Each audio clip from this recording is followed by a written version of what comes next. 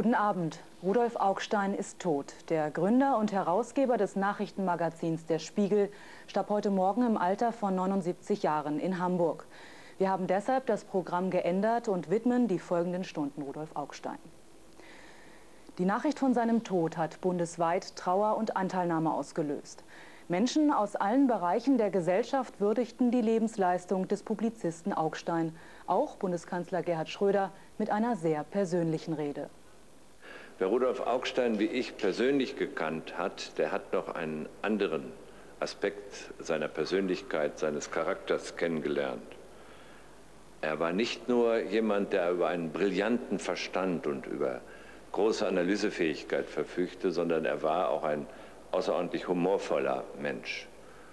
Jemand, äh, auf dessen Urteil man Wert legen konnte und ich habe auf sein Urteil Wert gelegt. Er hat mir, ohne dass das je an die Öffentlichkeit geraten ist und geraten sollte, viele Ratschläge auch noch in der letzten Zeit gegeben. Nicht alle habe ich befolgen können, aber immer war die Kommunikation mit ihm auch für mich außerordentlich wertvoll. Ich denke an ihn mit großem Respekt vor seinen historischen Leistungen, aber ich denke an ihn auch mit äh, Zuneigung vor einer Persönlichkeit, die seinesgleichen sucht. Ich finde, dass äh, man wirklich sagen kann, dass äh, Deutschland mit ihm einen der ganz Großen seines Geisteslebens verloren hat. Rudolf Augstein starb zwei Tage nach seinem 79. Geburtstag. Sein Lebenswerk war das Nachrichtenmagazin Der Spiegel. Mit Augstein verliert die Republik nicht nur einen herausragenden Publizisten, sondern auch einen unbestechlichen Kämpfer für Meinungs- und Pressefreiheit. Rudolf Augstein auf dem 50. Geburtstag des Nachrichtenmagazins Der Spiegel.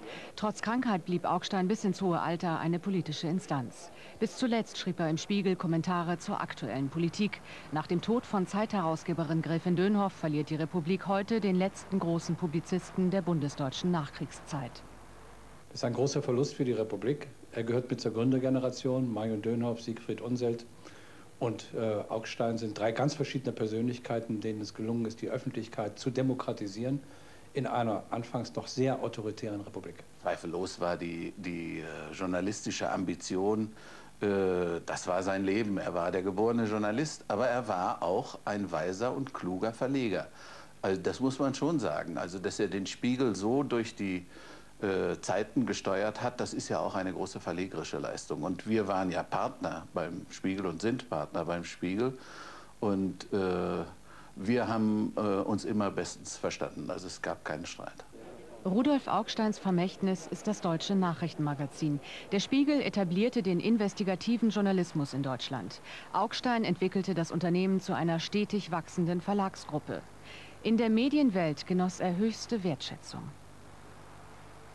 Ich habe Rudolf Augstein häufig getroffen und es waren eigentlich meistens sehr fröhliche Treffen, die man mit ihm gehabt hat. Auf der einen Seite, äh, weil man immer gefeiert hat und zum Zweiten, weil er ein brillanter Kopf gewesen ist, sodass man immer sich köstlich amüsieren oder auch köstlich streiten konnte. In Berlin löste die Nachricht vom Ableben Augsteins große Betroffenheit quer durch alle Parteien aus. Er war eine der ganz großen, wenn nicht die größte Persönlichkeit des deutschen Journalismus. Ich äh, selbst habe ihn seit über 40 Jahren verehrt, seitdem ich äh, Zeitungsvolontär war. An ihm haben wir jungen Journalisten uns schon vor 40 Jahren ausgerichtet und ich denke, er hat einen freien, unabhängigen Journalismus in Deutschland äh, geprägt wie kein anderer. Kennzeichnend für Rudolf Augstein war seine Reaktion auf die Verleihung des Bundesverdienstkreuzes in Hamburg. Er bezeichnete sich als Feind von Orden. Vor allem Journalisten sollten keine annehmen. Er war ein kluger Mann, ein streitbarer Mann, ein umstrittener Mann. Gerade das machte seine Autorität aus. Wir werden ihn vermissen. Rudolf Augstein hat sich um Hamburg und Deutschland verdient gemacht. Trauerbeflaggung am Hamburger Rathaus für den Ehrenbürger der Hansestadt. Stationen eines Journalistenlebens. Schon als Schüler interessierte sich der 1923 geborene Sohn eines Fotokaufmanns für Politik. Nach dem Krieg wurde Augstein leitender Redakteur des Nachrichtenmagazins Diese Woche, aus dem der Spiegel hervorging. Von Anfang an begleitete Augstein mit dem Spiegel die Entwicklung der jungen Bundesrepublik unter ihrem Kanzler Konrad Adenauer. Der Journalist als kritischer Beobachter, Mahner und Visionär. Adenauer betrieb entschlossen die Politik der Westintegration und vernachlässigte nach Augsteins Meinung das Thema Wiedervereinigung. Nationalismus kann man es nennen, aber dann gibt es viele Nationalismen auf dieser Welt. Ist England nicht nationalistisch? Ist Frankreich nicht nationalistisch? Was erlauben sich die USA nicht alles jetzt? Also in dem Sinn bin ich natürlich immer Nationalist gewesen. Zu einem Wendepunkt wurde der 26. Oktober 1962, als die Staatsmacht beim Spiegel einmarschierte. Ich kriegte einen Anruf, des Spiegel von Polizei stellt sei, seien einige verhaftet worden. Wer wusste man nicht. Ich aber würde bestimmt gesucht, was ja auch logisch war. Und mein Bruder, der sagte, ich kenne den Herrn Staatsanwalt Buback, das ist ein ordentlicher Mensch. Du musst dich dahin begeben. Ich habe ausgemacht, dass du morgen um 10 Uhr im Polizeihauptquartier erscheinst. Und da habe ich gesagt, nee, 10, das ist zu früh, 12. 12 Uhr bin ich da. Und ja, habe ich noch gefrühstückt, Sachen gepackt und dann war ich eben im Untersuchungsgefängnis. Die Spiegel-Affäre wurde zum Testfall für die Nachkriegsdemokratie. In der Titelgeschichte Bedingt abwehrbereit hatte der Spiegel den schlechten Zustand der Bundeswehr und die umstrittene Atomwaffenstrategie des Verteidigungsministers Strauß angegriffen. Strauß trat einen Monat nach der Staatsschutzaktion zurück. Da saß Augstein als angeblicher Landesverräter noch im Gefängnis. Mein persönlicher Untergang waren die nicht aus. Sie wollten den Spiegel erledigen für immer. Das dachte ich 14 Tage lang, bis ich aus den Nachrichten merkte, es würde nicht gelingen. Nach 103 Tagen Haft kam Augstein frei. Der Spiegel wurde durch die Affäre zur Institution. In der Biografie Rudolf Augsteins bleibt Konrad Adenauer eine der wichtigsten Bezugspersonen. Kurz vor Adenauers Tod eine Art Versöhnung. Ich komme da rein und dann haben wir uns umarmt. Das ist natürlich unerwartet. Unerwartet von beiden Seiten. Auch als Politiker suchte Augstein die Herausforderung, zog für die FDP in den Bundestag. Ein kurzer Ausflug. Wohl auch, weil er wusste, dass er mit dem Spiegel mehr Macht hatte als die meisten Politiker. So viel Einfluss, wie wir hatten und vielleicht noch haben, kann es künftig überhaupt nicht mehr geben.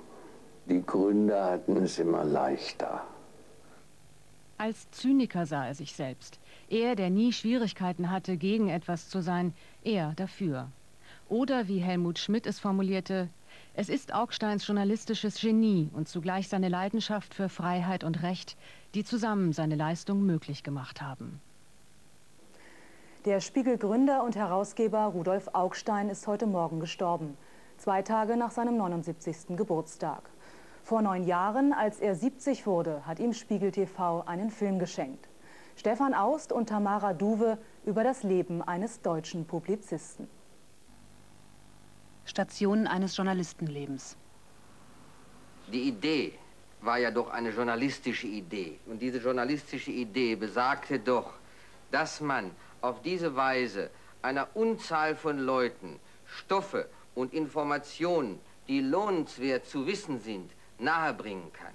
Ich glaube, es gibt kein demokratisches Leben, das so ist, wie man es sich vorstellt. Selbstverständlich ist die Demokratie immer mit schweren Mängeln behaftet. Ich habe auch eine Schwäche für große Männer, wenn Sie etwa an Leute wie Lenin oder Bismarck, äh, Napoleon denken. Man verlangt hier ein bisschen zu viel von mir. Ich bin so ratlos wie Sie alle. Wieso soll ich Auswege wissen? Gerade die Konflikte, die kommen, sieht man ja nicht. Man sieht die, die da waren. Und die werden registriert in einem großen Verwaltungsapparat aufbereitet. Auf jeden Fall kann ich da nicht hingehen und darum diktieren, was geschrieben werden soll. Es gibt viele Dinge im Spiegel, wie er jetzt ist, die ich gerne mache. Auch ich darf ja wohl dazu lernen und meine Meinung ändern. Das kann ich mir nicht vorstellen, dass ich es noch weitere fünf Jahre mache. Rückblende Mai 1945. Hannover, eine Stadt in Trümmern. Besetzt von amerikanischen und britischen Truppen. Ein 22-jähriger Leutnant der deutschen Wehrmacht kehrt zurück in seine Heimatstadt. Ohne rechte Begeisterung hat er sich durch den Krieg geschlagen. Jetzt will er neu beginnen, er weiß nur noch nicht so recht, womit. Als Ausbildung hat er das Abitur und ein kurzes Volontariat bei einer Tageszeitung.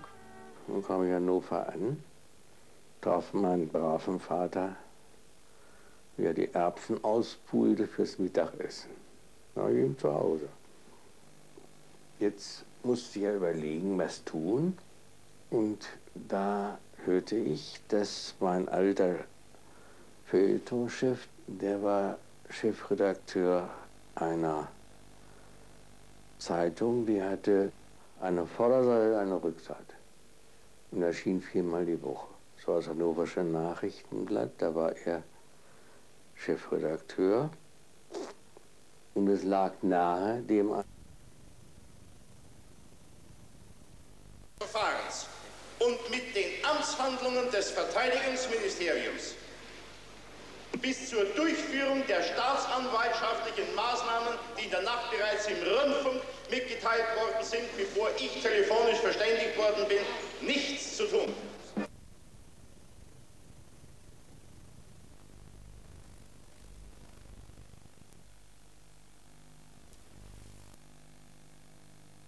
Zum Strafjustizgebäude in Hamburg. Ein Haftprüfungstermin ist für seinen Bruder anberaumt. Gespannt erwarten die Journalisten das Ergebnis. Dann löscht ihn auch, Also, meine Herren, mein Bruder bleibt weiter in Haft. Der Haftbefehl ist aufrechterhalten geblieben wegen Verdunkelungsgefahr. Augstein, Chefredakteur Jacobi und der Autor des umstrittenen Artikels bedingt abwehrbereit Ahlers bleiben in Haft. Bundesanwalt Löstau erläutert die Entscheidung. Es sind, wie wir aus den Unterlagen wissen, Absprachen zwischen den Beteiligten getroffen worden, als sie erfuhren, dass ein Ermittlungsverfahren wegen dieses Artikels lief. Es sind weiterhin Unterlagen vernichtet worden, wie mindestens einer der Beteiligten eingesteht. Und schließlich sind sogar während der Ermittlungen selbst jetzt Dinge passiert, die Verdunklungsgefahr begründen. Einer der Beteiligten nämlich hat versucht, ein Schriftstück, das auf einem Stoß von Papieren lag, die noch durchgesehen werden sollten, in einen anderen Stoß zu schmuggeln, die bereits freigegeben waren. Ich hatte kein Material, das ich beseitigen wollte. Und äh, natürlich habe ich darüber nachgedacht und dann äh, mir aber gesagt, wenn es Material gibt, dann wird Ala schon dafür gesorgt haben, dass es weg ist. Einige Tage zuvor hatten Kriminalbeamte im Haus von Hans-Detlef Becker belastende Dokumente entdeckt und verhaften jetzt auch den Verlagsleiter des Spiegel. Becker hatte offenbar auf Bitten von Konrad Ahlers Kontakt mit dem Bundesnachrichtendienst aufgenommen, um vor der Veröffentlichung einige Fragen zu klären. Die Fahnder sind sicher, jetzt haben sie die undichte Stelle entdeckt. Ich war erst richtig down, als der Verlagsdirektor Becker verhaftet wurde, gegen den keine Haftgründe vorlagen, und mein Bruder sogar, gegen den erst recht keine vorlagen. Und da dachte ich, sie haben es doch wohl auf seinen Untergang abgesehen. Jetzt kommt ausgerechnet die FDP-Fraktion dem bedrängten Augstein zu Hilfe. Eine Zeit lang hatte Adenauer seine Regierungspartner beschwichtigen können. Dann wurde ruchbar, dass Justizminister Stamberger FDP bei den Ermittlungen umgangen worden war. Die Liberalen drohen mit dem Bruch der Koalition. Adenauer soll im Bundestag zur Wahrheit gezwungen werden. Ein Abgrund von Landesverrat tue sich auf, entgegnet der Kanzler. Sogar das geheime Ermittlungsverfahren sei vom Bundesnachrichtendienst an Augstein verraten worden. Der Bundesanwalt hat gestern in der Pressekonferenz erklärt, dass ein aktiver oberster Bundeswehr schon am 18. benachrichtigt hätte, Augstein und die Redaktion, dass ein Verfahren wegen Landesverrats gegen sie eingeleitet sei. Und meine Damen und Herren, ich glaube nicht, dass nun die so benachrichtigten und gewarnten dann nun ihre ganzen Papiere da haben liegen lassen. Das glaube ich nicht, meine Damen und Herren. Und deswegen hat eben der Bundesanwalt gesagt, dauert diese Untersuchung so lange und muss so sorgfältig geführt werden, damit wir nun die Wahrheit ermitteln. Da kann man doch wirklich keinem einen Vorwurf draus machen. Aber dann kommt da ein zweiter. Da ich den Adenauer sehr verehrt habe, habe ich mir gar nicht vorstellen können, dass da wirklich was Unrechtes geschehen sei. Dann im Laufe der Zeit wurde mir schon klar, dass das Vorgehen der Behörden, äh, um es schlicht zu sagen, skandalös war und dass man dort also einen NATO-Verrat konstruiert hat, der in dieser Form nicht war, nie vorgelegen hat. Aber äh, Strauß war eben mittendrin und wie es Adenauers äh, Art war, er ließ dann einen auch stecken. Der Präsident! Fast zwei Wochen lang hatte sich Franz Josef Strauß aus der Schusslinie halten können. Am Ende aber geht es ihm doch an den Kragen. Er muss das nächtliche Telefonat zugeben, das zur Verhaftung von Konrad Ahlers führte. Ganz bewusst habe er sich aus dem Ermittlungsverfahren herausgehalten, beteuert der Minister. Doch niemand mag ihm das glauben. Glauben Sie, dass Sie die Behauptung aufrechterhalten können, die Sie in der Öffentlichkeit gemacht haben, dass Sie nämlich mit diesem ganzen Verfahren nichts, gar nichts zu tun hatten? Der Generalbundesanwalt hat am 9. Oktober das Verteidigungsministerium um ein Gutachten ersucht. Ich habe davon nichts gewusst. Ich habe mit der Ingangsetzung des Verfahrens und mit den Amtshandlungen des Verteidigungsministeriums bis zur Durchführung der staatsanwaltschaftlichen Maßnahmen, die in der Nacht bereits im Rundfunk mitgeteilt worden sind, bevor ich telefonisch verständigt worden bin, nichts zu tun. Strauß Parteifreunde sind entsetzt. Durch seinen eigenwilligen Umgang mit der Wahrheit hat er sich ins Abseits manövriert. Mir war klar, entweder stürzt Adenauer oder Strauß. Strauß war auch bereit zu gehen. Er sagte, ich gehe zu dem Alten und dann wollen wir sehen. Äh, ich kann Ihnen jetzt schon sagen, wie das ausgeht. Bei mir wird er wahrscheinlich sagen, er hat von vielem nichts gewusst. Er wusste aber alles. Er war von Anfang an voll eingeweiht. Aber Strauß hat immer gesagt, wenn, ich, wenn es der Partei nützt, dass ich zurücktrete, wenn es für die Partei besser ist, dann trete ich auf jeden Fall zurück. Ausgerechnet Konrad Adenauer hält sich für den heimlichen Sieger der Debatte. Dass draußen Tausende auf die Straßen gehen, vehement die Freilassung Augsteins und den Rücktritt von Strauß fordern, beeindruckt den Kanzler überhaupt nicht. Er macht unbeirrt weiter mit seinem Feldzug gegen die vermeintlichen Landesverräter. In einem handschriftlichen Vermerk erinnert sich Bundesanwalt Albin Kuhn später, wie Adenauer am 12. November den Präsidenten des Bundesnachrichtendienstes Reinhard Gehlen zur Rede stellte. Über ihn, so glaubt er, sei die streng geheime Nachricht vom laufenden Ermittlungsverfahren an den Spiegel weitergeleitet worden. Anschließend, so schreibt Kuhn, habe der Kanzler verlangt, Gehlen weiter zu vernehmen und, falls erforderlich, zu verhaften. Wir wollen die Leute ausfindig machen, die unter Brechung ihres Diensteides nun solche Nachrichten dem Spiegel gegeben haben. Spiegel hin, Spiegel her, meine verehrten Herren. Äh, das äh, ist für mich gar nicht von so großem Interesse. Aber für mich ist von Interesse, meine Herren, dass wir nicht in unserem eigenen Lager die Verräter haben. Was Adenauer zu diesem Zeitpunkt nicht weiß, längst hat sich bei weiteren Vernehmungen herausgestellt, dass trotz guter Beziehungen zum Spiegel der Bundesnachrichtendienst dem Magazin diesmal keine geheimen Informationen geliefert hat. Aus der Haft meldet sich jetzt auch Rudolf Augstein zu Wort. Soll der Staat zugrunde gehen, damit einem Manne Genüge geschieht? Diese Frage werde ich nun nicht mehr zu stellen aufhören. Auf einer Wahlveranstaltung der CSU wehrt sich der so angegriffene tapfer. Herr Augstein kann ruhig sagen, wir brauchen eine grundlegend andere Verteidigungspolitik. Meine Damen und Herren, auch darum geht es nicht, sondern es geht um etwas anderes. Auch in unserem Zeitalter, in einem Zeitalter, wo der Krieg kein Mittel der Politik ist oder sein darf oder wieder dazu gemacht werden darf, gibt es militärische Geheimnisse, die für den Sicherheit und Bestand unseres Volkes und der Bündnisgemeinschaft von wesentlicher Bedeutung sind. In letzter Sekunde versucht der strauchelnde Minister den Kanzler mit in die Haftung zu nehmen. Der habe von ihm schließlich die Maßnahmen gegen den Spiegel ausdrücklich verlangt.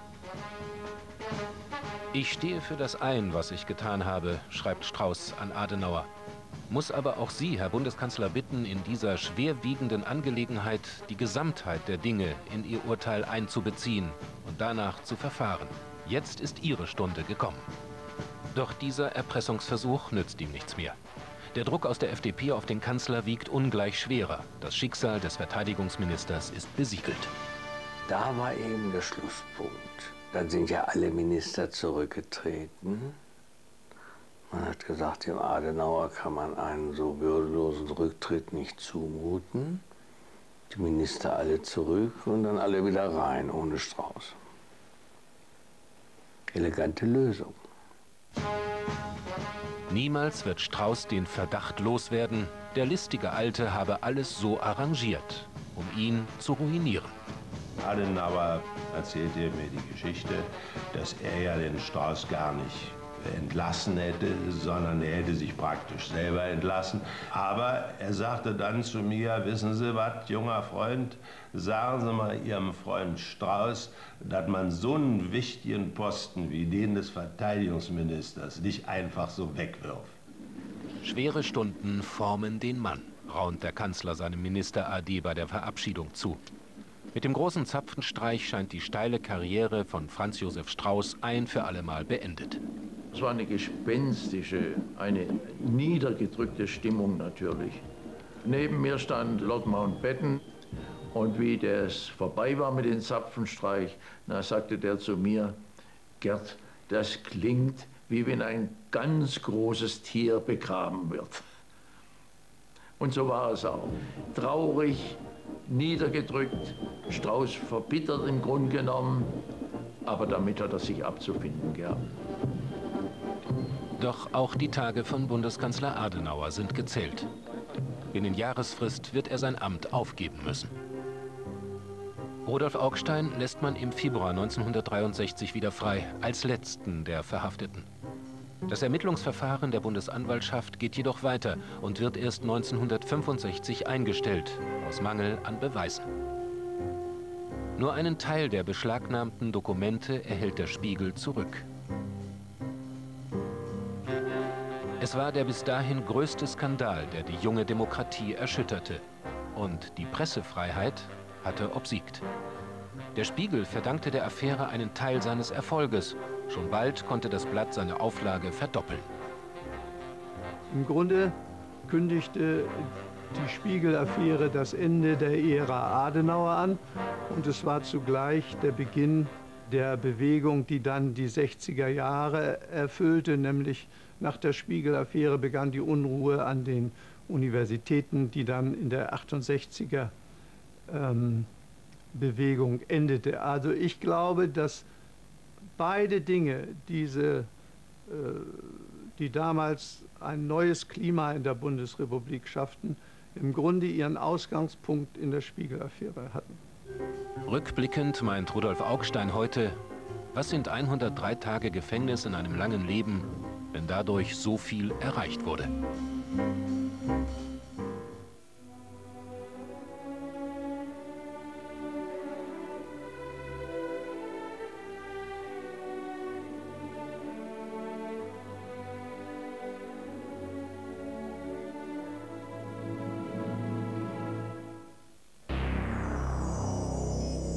Die Eigenproduktionen bei XXP. Das Nachrichtenmagazin .x täglich live um 19.30 Uhr. Ein aktueller Gast, ausführliche News, intensive Interviews mit Meinungsführern und Machern, nicht nur aus der Hauptstadt. Man kann sagen, der Möllemann ist ein Idiot. Ich sage, er ist kein Idiot, er ist ein Opportunist. Es war ein Anschlag, ein Verbrechen. Innenansichten der Macht und ihrer Mechanismen. Live bei .x. Wer sich mit einem solchen Mann zu politischen Zwecken einlässt, der verrät ja einiges. Also jetzt beginne ich zum ersten Mal darüber nachzudenken, eventuell das Land zu verlassen. Den zweiten Geburtstag meiner Tochter habe ich bei einer namentlichen Abstimmung im Deutschen Bundestag verbracht. Das Geld ist für die Opfer, nicht für die Anwälte. Punkt X, das Nachrichtenmagazin. Täglich um 19.30 Uhr. Das Bundesjustizministerium, noch der Generalbundesanwalt, Interpol, ein amtlicher spanischer Auskunft soll der stellvertretende Präsident des Bundeskriminalamtes noch in der Nacht vom 26. auf 27. Oktober eine spanische Dienststelle um Festnahme des Alles versucht haben. Das war der erste Teil dieser Mitteilung. Das trifft nach meinen Feststellungen, ich habe nur ganz, gestern Abend kamen diese Meldungen heraus, ich habe nun alles daran gesetzt, die äußersten Feststellungen zu treffen. Nach meinen Feststellungen äh, trifft nicht zu, dass Herr Dickkopf, äh, der benannt ist, eine solche ein solches Haftversuchen oder die mündliche Weiterleitung eines Haftbefehls an die spanischen Dienstbehörden gegeben hätte. Das trifft nicht zu in dieser Form. Ob nun ein anderer Beamter, meine Damen und Herren, der Sicherungsgruppe ähm, eine spanische Dienststelle von dem Haftbefehl verständigt hat, konnte ich noch nicht ganz aufklären, da nicht, ja, nein, da nicht alle eingesetzten Beamten befragt werden konnten. Einer ist nicht im Lande, ist für einige Wochen im Ausland. Ich habe veranlasst, dass ihm die Frage sofort fernschriftlich hinzugeht. Ich habe diese, äh, diesen Teil der Ermittlungen noch nicht ganz abgeschlossen, aber so wie es, äh, es muss sich um einen Irrtum handeln, äh, der spanischen Stelle, wenn es heißt, dass der stellvertretende Präsident des Bundeskriminalamtes in der Nacht in der Form tätig gewesen wäre. Es steht aber fest, dass das Bundeskriminalamt den Text des Haftbefehls in den Vormittagsstunden äh, vom 27. Oktober fernschriftlich an die deutsche Botschaft durchgegeben hat. Darüber hinaus hat der stellvertretende Präsident des Bundeskriminalamtes, eben der Dickkopf, in einem anschließenden Ferngespräch, das gegen 13 Uhr etwa vom, am 27. geführt wurde, den spanischen Sicherheitsbehörden empfohlen, unter Aufhebung der ihm in der Zwischenzeit bekannt gewordenen vorläufigen Festnahme darauf hinzuwirken, dass er alles sich zu einer freiwilligen Rückreise in die Bundesrepublik einverstanden erkläre. Bei diesem Telefongespräch wurde dem stellvertretenden Präsidenten des Bundeskriminalamtes von der spanischen Sicherheitsbehörde mitgeteilt, und dass sie diesem Ersuchen zwar stattgeben wolle, aber jedenfalls Herrn Ahlers als unerwünschten Ausländer abschieben werde. Sie hätte, des, sie hätte deshalb auch auf die Mitteilung hin, dass ein Haftbefehl des Bundesgerichtshofs vorliege, Herrn Ahlers in der Absicht vorläufig festgenommen, ihn als unerwünschten Ausländer unverzüglich abzuschieben. Soweit meine bisherigen Feststellungen. Und vielleicht zur Ergänzung noch Folgendes. Es ist, es ist die Behauptung erhoben worden, bitte, das sind die Feststellungen, die ich von gestern Abend, da war zum Teil in der Nacht bis heute früh, treffen konnte. Ich darf Was wird denn da? Ich habe die Meldung, die Meldung des spanischen Informationsdienstes, wie Sie gestern Abend bekommen. Und äh, es ist noch die Behauptung erhoben worden, Interpol wäre eingeschaltet gewesen. Sie werden das Dementi der deutschen und der europäischen Interpol gehört haben, dem ich mich nur nach eigenen Feststellungen anschließen kann. Zusatzfrage, Herrn Abgeordneten Wittrock. Herr Minister, darf aus Ihrer Antwort die Bestätigung dafür entnommen werden, dass bei dem ganzen Vorgang äh, die Grundsätze und die ausdrücklichen Regelungen und Statuten des internationalen Rechtshilfeverkehrs verletzt worden sind, und zwar verletzt worden sind mit dem Ergebnis, dass mindestens nun bei, spanischer, bei spanischen Stellen eine Täuschung bewirkt worden ist, und zwar eine Täuschung so, als wenn Interpol tätig geworden wäre.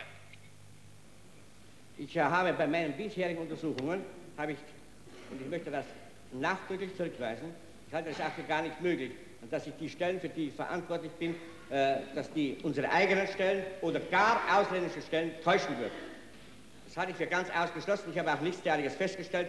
Aber ich bin wirklich überrascht, Herr Kollege Wittrock, dass Sie so weit gehen und einfach aus den, äh, es steht Ihnen ja fast nichts anderes zur Verfügung als äh, die verschiedensten Mitteilungen in der Presse, dass Sie daraus einen solchen Vorwurf formulieren. Zweite Zusatz, Moment, ich bin noch nicht fertig.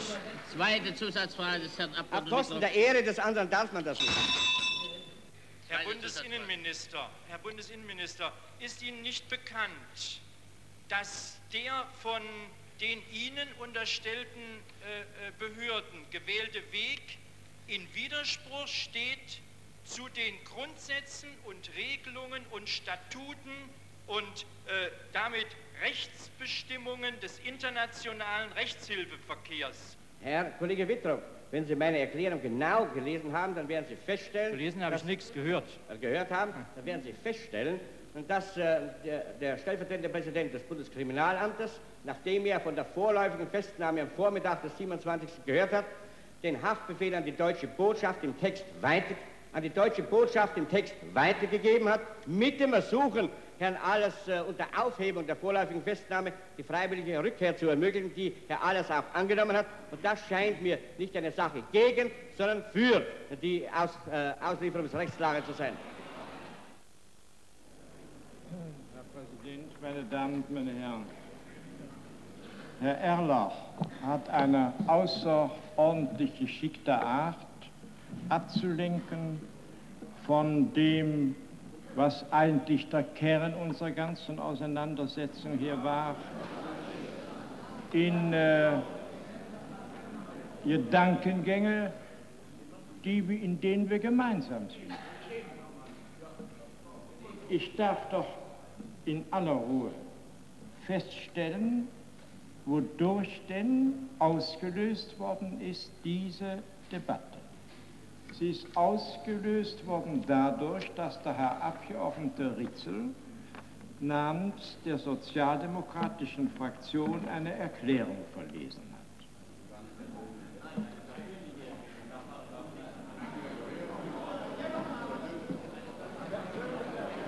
Nun, meine Herren, Sie werden sich doch nicht von Herrn Ritzel distanzieren. Nicht?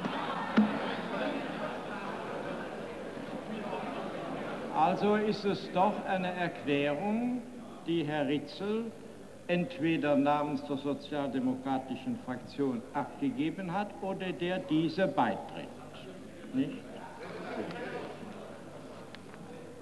Und woran ich mich so wirklich gestoßen habe und innerlich empört war, meine Herren, das sind zwei Sätze darin, die nun bei dem Hin und Her vielleicht doch äh, verloren gehen.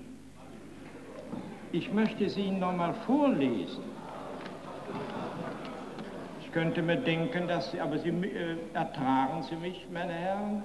Wir sind ja im selben Parlament, ich muss Sie ja auch ertragen.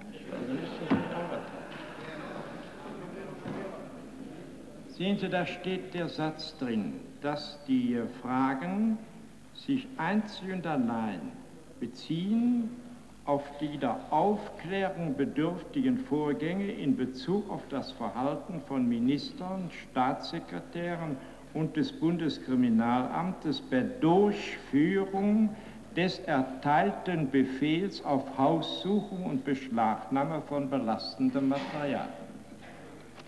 Also das ist der eine Satz. Nun ist kein Minister dabei beteiligt, dabei, mit Ausnahme, mit meine, meine Damen und Herren, und ich sage, wollen wir uns nicht gegenseitig ertragen, es wird so viel leichter dadurch. Und, meine Herren, es war kein Staatssekretär bei der Haussuchung und bei der Beschlagnahme beteiligt.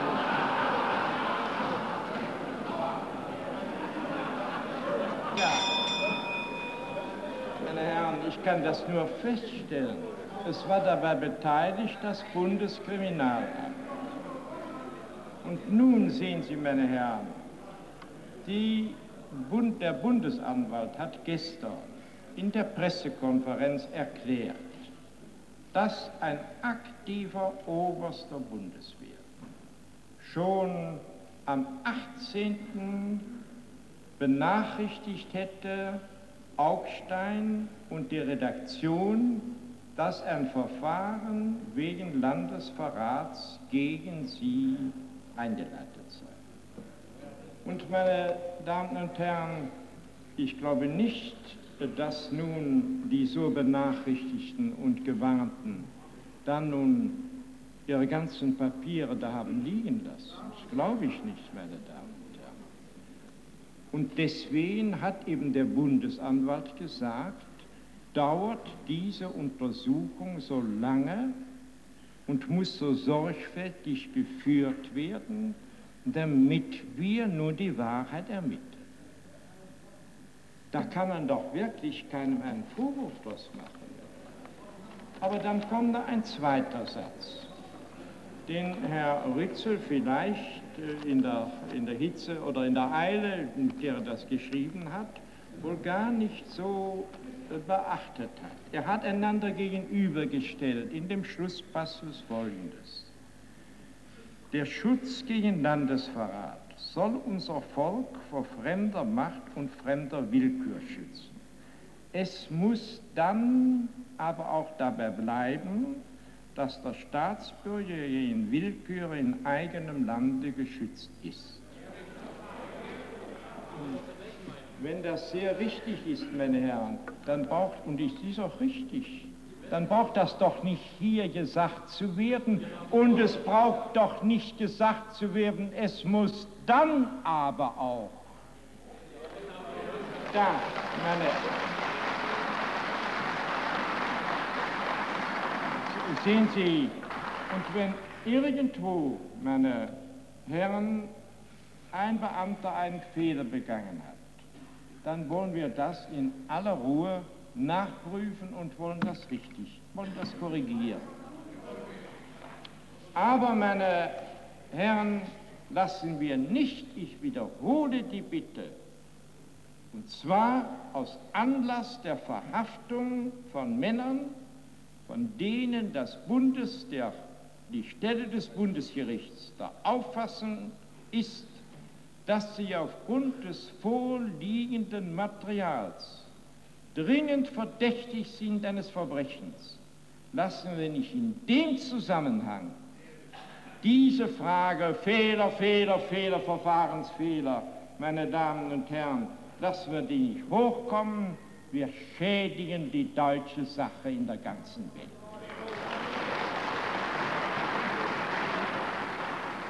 Wer hat auf wessen Weisung in welcher dienstlichen Zuständigkeit und auf welcher Rechtsgrundlage und auf welche Weise erstmalig und damit entscheidend von den spanischen Behörden die Festnahme des deutschen Staatsbürgers Alles erbeten.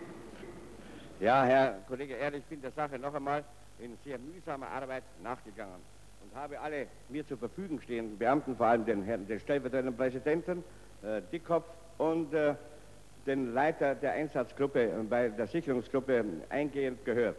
Es, äh, ich muss äh, wiederholen, was ich gestern gesagt habe, dass Herr Dickkopf, so wie es äh, von der spanischen Seite behauptet worden ist, nicht äh, früher, in, in, früh um 2 Uhr, so war es ja in der ersten Meldung, äh, telefoniert hat oder einen solchen Auftrag gegeben hat und dass auch äh, der Herr Seewicke das nicht gemacht hat. Ein Beamter steht noch außer, der ist im Ausland, ich habe ihn dienst, der ist dienstlich im Ausland und ich habe ihn zurückrufen lassen man konnte ihn noch nicht befragen. Es besteht also die Möglichkeit, nach meinen äh, Vermutungen noch, die ich noch nicht so konkretisieren kann, aber ich bin fortgesetzt an der Sache, um Ihnen die gewünschte, ganz genaue Auskunft geben zu können. Ist Ihnen etwas davon bekannt oder haben Sie eine Vermutung, dass der Militärattaché Oster äh, diese Festnahme vielleicht veranlasst haben könnte? Ich kann zu der Frage nach meinen Feststellungen Folgendes antworten. Das Bundesverteidigungsministerium ist durch die Sicherungsgruppe des Bundeskriminalamtes am 27. Oktober zwischen 1 und 2 Uhr morgens wie folgt verständigt worden. Bei dem erfolglosen Versuch der Festnahme des Herrn Ahlers in seiner Hamburger Wohnung habe sich ergeben, dass Herr Ahlers sich in Spanien oder Tanga aufhalte. Der deutsche Militärattaché in Madrid sei über diese Reise unterrichtet. Auf dem Wege der Amtshilfe für die Strafverfolgungsbehörden hat das Verteidigungsministerium den Militärattaché in Madrid befragt, ob diese Mitteilung zutreffe. Der Militärattaché bestätigte die Mitteilung, er könne aber nicht sagen, ob sich Herr Ahlers in Spanien oder Tanga aufhalte. Der spanische Aufenthaltsort des Herrn Ahlers sei ihm bekannt. Daraufhin wurde dem Militärattaché erklärt, dass gegen Ahlers ein höchstrichterlicher Haftbefehl wegen des dringenden Verdachts eines landesverräterischen Verbrechens vorliege. Der Haftbefehl sei mit Flucht- und Verdunkelungsgefahr begründet. Der Attaché wurde in der bei Behörden üblichen Weise angewiesen, diese Tatsache den spanischen Behörden mitzuteilen. Diese seien außerdem bereits auf dem polizeilichen Wege von dem vorliegenden Haftbefehl unterrichtet. Der Attaché solle den spanischen Behörden den ihm bekannten Aufenthaltsort angeben. Er solle außerdem auch eventuelle polizeiliche Ersuchen bei der spanischen Behörde unterstützen. Sie haben Ihre Zusatzfragen erschöpft. Ja. Abgeordneter Mommer.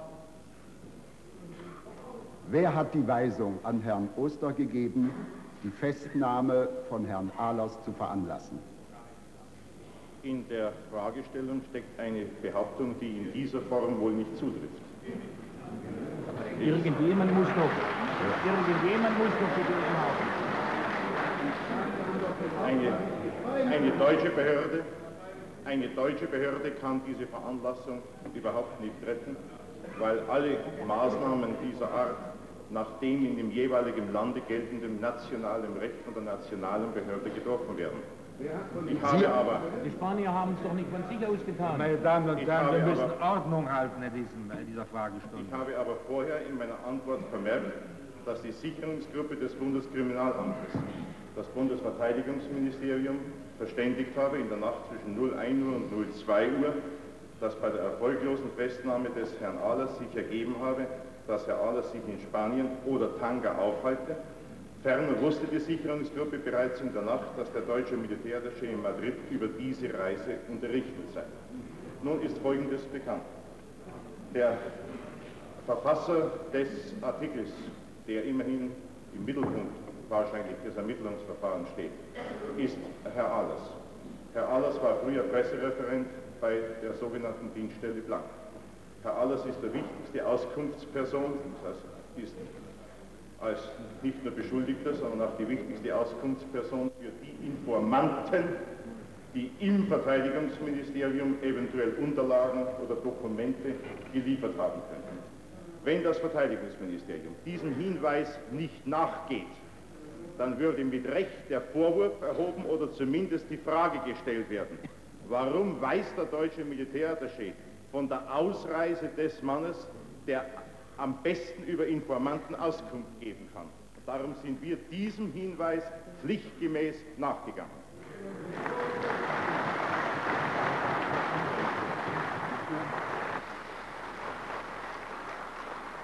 Angesichts der ungeheuren Bedeutung dieses Verfahrens, bei dem es dem Verteidigungsministerium, ich darf das hier ganz offen und klar feststellen, nicht um Redakteure in erster Linie geht, sondern darum geht, dass die durchlässigen Stellen im Ministerium, hohen Kommandobehörden oder anderswo endlich einmal bekannt werden, warum wir seit Jahren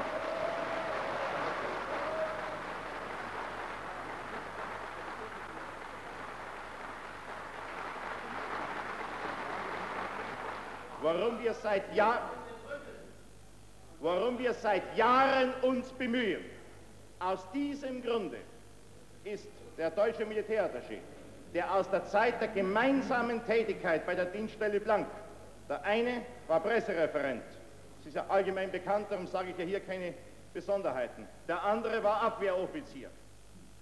Aus diesem Grunde ist der deutsche Militärattaché, der Herrn Ahlers aus der damaligen Zeit erkennt, in der Nacht verständigt und gefragt worden, ob er etwas von dieser Reise wisse. Denn wenn Herr Ahlers was in der Nacht in keiner Weise zu übersehen war, nach Marokko weitergereist wäre, ein, ein Urlaubsziel, das er angegeben hatte, und nicht mehr zurückgekehrt wäre, was das Ziel der Bemühungen war, dann wäre ein Schatten eines Verdachtes hängen geblieben, dass mit Hilfe einer Stelle oder einer Person aus dem Dienstbereich des Verteidigungsministeriums ein Mann nicht mehr zur Auskunft hätte veranlasst werden können, der am besten über viele Informanten nach unserer Kenntnis der Dinge Bescheid weiß.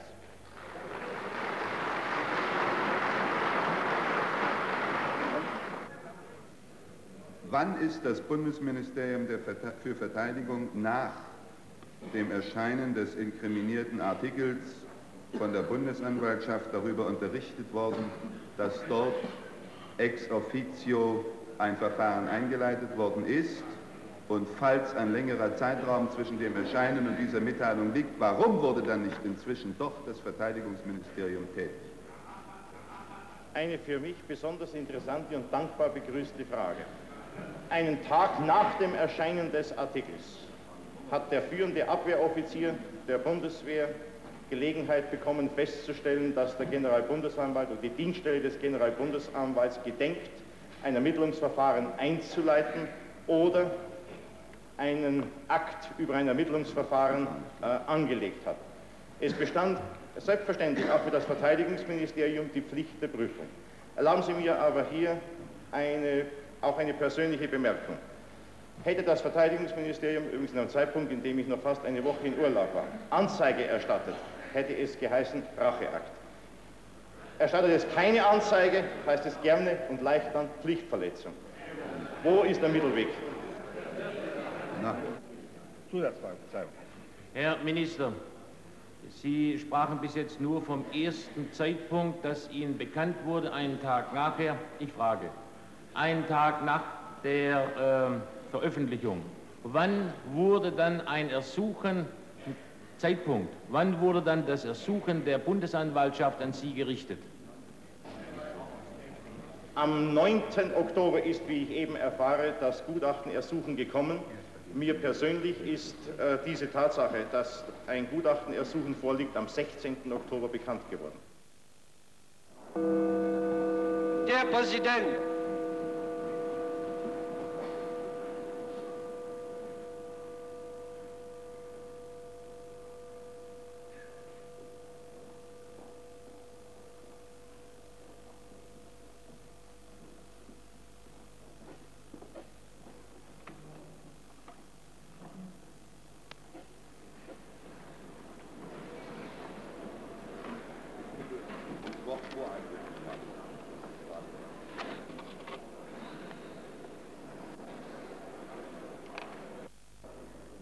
der Frage liegt, abgesehen davon, dass hier auch der Zusammenhang mit der eigentlich gestellten Frage nicht mehr zu erkennen ist, nicht mehr zu erkennen ist, steckt in dieser Frage, steckt in dieser Frage eine Feststellung, deren Richtigkeit oder Unrichtigkeit ich nicht überprüfen kann. Ich habe gestern den Vorgang genau dargestellt. Ich habe auch die Gründe dargestellt, die zu diesem Vorgang äh, geführt haben. Und wenn Sie die Frage so weit ausdehnen, darf ich auch die Gründe hier noch einmal anführen. In der Nacht zwischen 1 und 2 Uhr hat die Sicherungsgruppe des Bundeskriminalamtes das Verteidigungsministerium, nicht mich, ein ver verständigt, dass die, der Versuch, Herrn Ahlers aufgrund eines höchstrichterlichen Haftbefehls festzunehmen, erfolglos gewesen sei. Herr Ahlers halte sich entweder in Spanien oder in Tanga auf. Im Übrigen sei der deutsche Militärattaché unterrichtet. Es kann auch die Formulierung, da darüber ja keine Niederschriften oder, oder Tonbänder vorliegen, die Formulierung so gewesen sein, der deutsche Militärattaché habe mit dieser Reise ja etwas zu tun. Wenn, das, wenn die Sicherungsgruppe, die bei keiner anderen Festnahme das Verteidigungsministerium verständigt hat, diese Mitteilung macht, dann steckt ja darin ein ganz bestimmter Sinn. Wir suchen jemanden, der wegen richterlichen Haftbefehls festgenommen werden soll, im Zusammenhang mit dem Verdacht des Landesverrats, und das, das Verteidigungsministerium ein, eine Stelle oder eine Persönlichkeit aus diesem Bereich weiß ja Bescheid über diese Reise. Damit war für uns die Notwendigkeit der Amtshilfe gegeben. Denn Herr Ahlers ist der Verfasser des Artikels, der im Mittelpunkt des Ermittlungsverfahrens steht. Herr Ahlers muss am besten wissen, wer die Informanten aus dem Dienstbereich des Verteidigungsministeriums sind. Nicht zuletzt deshalb, weil er aus seiner früheren amtlichen Tätigkeit noch sicherlich eine Reihe von persönlichen Verbindungen hat. Aus der Mitteilung der Sicherungsgruppe war zu entnehmen, dass sie an der Festnahme von Ahlers gerade wegen der Aufklärung der undichten Stellen in Bonn ein besonderes Interesse habe. Wenn nun ein Herr des Verteidigungsministeriums von der Reise weiß, diese Reise vielleicht organisiert, diese Reise vermittelt habe, dann würde der Verdacht schwer abweisbar sein, dass man, um die Informanten aus dem eigenen Dienstbereich zu schonen, einem Herrn die Ausreise ermöglicht habe. Und aus diesem Grunde ist nachts der Anruf, der Grund des Anrufes erfolgt. Zusatzfrage, Herr, Herr äh, Dr. Mommer. Dass Sie nach dem, was Sie uns heute über Ihre Information und Ihre Mitwirkung in dieser Sache gesagt haben, Sie noch die Behauptung aufrechterhalten können, die Sie in der Öffentlichkeit gemacht haben, dass Sie nämlich mit diesem ganzen Verfahren nichts, gar nichts zu tun hatten.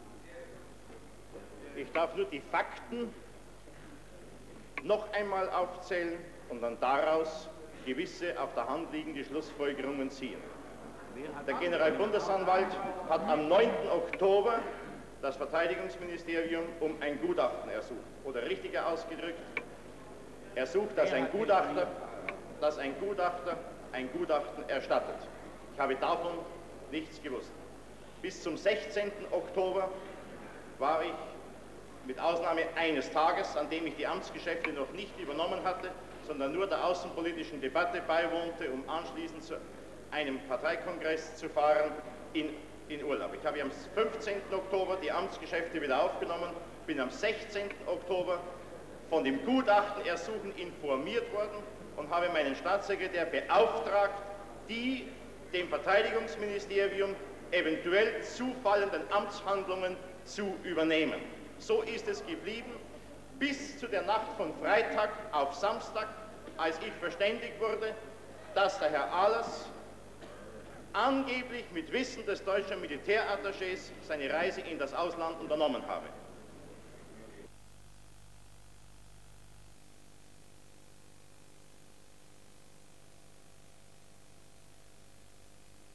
Auch diese Fragestellung ist in dieser Form unzutreffend. Und zwar unzutreffend, weil sie eine Behauptung enthält, die unzutreffend ist. Ich habe mit der Ingangsetzung des Verfahrens und mit den Amtshandlungen des Verteidigungsministeriums bis zur Durchführung der staatsanwaltschaftlichen Maßnahmen, die in der Nacht bereits im Rundfunk mitgeteilt worden sind, bevor ich telefonisch verständigt worden bin, nichts zu tun. Denn meines Wissens ist um 12 Uhr nachts bereits eine Rundfunkmeldung erfolgt oder kurz darauf. Zusatzfrage ist an Abgeordneten Dr. Schäfer. Ich, fra ich frage die Bundesregierung, ob sie in der Lage ist, aufgrund ihrer durchgeführten Dienstaufsicht Ich frage, das wissen Sie ja noch gar nicht, was kommt. Das wissen Sie ja noch gar nicht. Herr Präsident, ich bitte dafür besorgt zu sein, dass ich nicht unterbrochen werde. Ein, ein Augenblick, Herr Abgeordneter. Sie haben das Wort, Sie sind an der Frage. Bitte fragen Sie. Herr, ich frage den Herrn, die, ich frage die Bundesregierung, ob aufgrund der durchgeführten Dienstaufsicht Vorsorge dafür getroffen ist, dass das Grundrecht der Post, des Post- und Fernmeldegeheimnisses aufgrund Artikel 10 des Grundgesetzes in vollem Umfang, soweit die deutsche Zuständigkeit dafür gegeben ist, gewahrt ist. Ich kann die Frage mit Ja beantworten. Weitere Zusatzfragen? Herr Abgeordneter Wittrock. Ein, ein, ein Augenblick. Herr, Herr Bundeskanzler, wollen Sie eine Frage beantworten? Frage, ja. Nein, Herr, Herr Bundeskanzler, entschuldigen Sie, Entschuldigen Sie, äh, hier ist nach, nach, dem Geschäftsbereich, nach dem Geschäftsbereich des Bundesministers für das Post- und Fernmeldewesen gefragt. Ich möchte zur Vermeidung dessen, dass die Fragestunde aufliegt, lediglich fragen, ob der Herr Bundeskanzler zu diesem Geschäftsbereich das Wort nehmen. Zu dem Post- und Fernmeldewesen Gut. Anfrage will ich etwas erklären. Bitte sehr.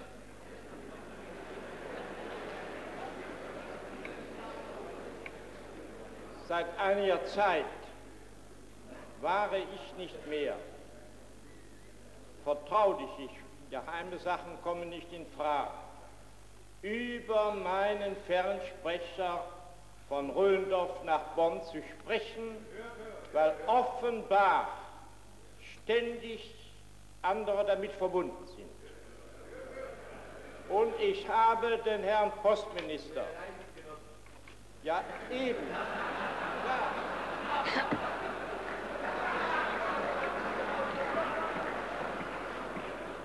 Und ich habe den Herrn Postminister gebeten, doch gerade diesen Fall auch genau zu untersuchen.